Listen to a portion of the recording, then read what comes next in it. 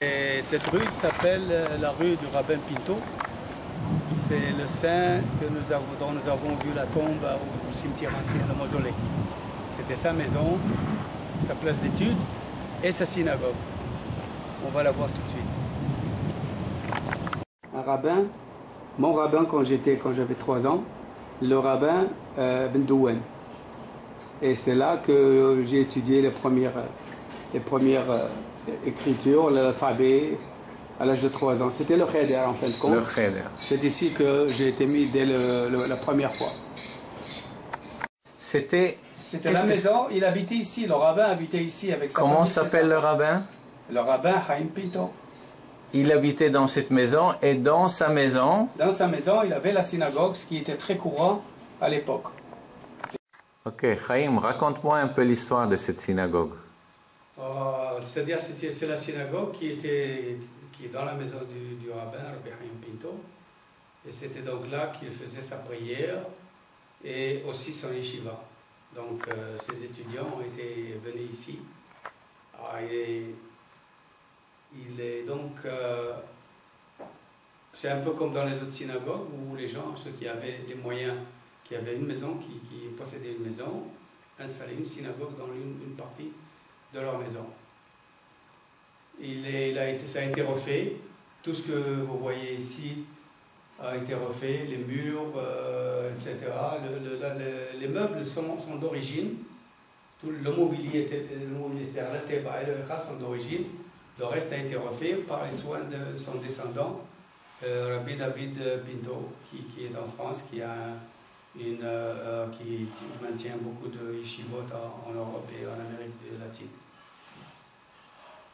Alors en principe ici donc c'était euh, une maison qui, qui était considérée comme sacrée par, par nos parents, nos arrière-parents.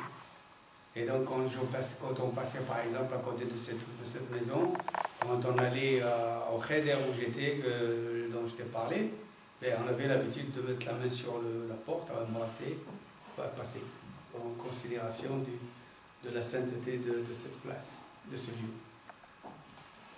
Et en ce moment-là, le Rabbi Chaim Pinto est considéré comme un saint ici. Oui, oui, il a été toujours considéré comme un saint dans la ville. Il est considéré comme le saint de la ville qui protégeait la ville. D'ailleurs, quand euh, quelqu'un tombait ou, ou trébuchait, euh, les mamans disaient Rabbi Hayim Pinto. Il invoquait le Rabbi Hayim Pinto pour que le danger soit éloigné de leurs enfants.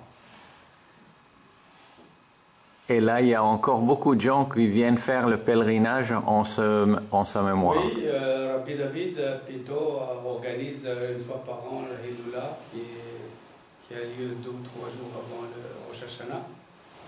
Et donc, euh, beaucoup de ses, de ses fidèles de France viennent avec lui. La dernière fois, c'était, il y avait 1200. Et en principe, ça, peut aller jusqu'à 1500 personnes qui viennent pour ce pèlerinage, pour cette Hillula qui se passe au cimetière et ils viennent ici pour la prière, une partie parce que ce n'est pas suffisant, quelques-uns. En majorité, ils, font les prières dans l'hôtel et ils viennent ici. Et puis, alors donc, il y a les, gens de Mogador qui, viennent visiter la ville. Cette synagogue est un must. Il faut qu'ils visitent.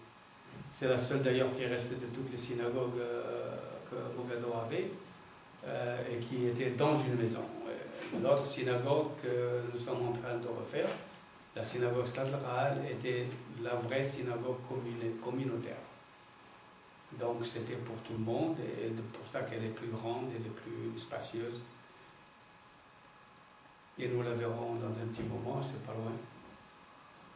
Ok, merci.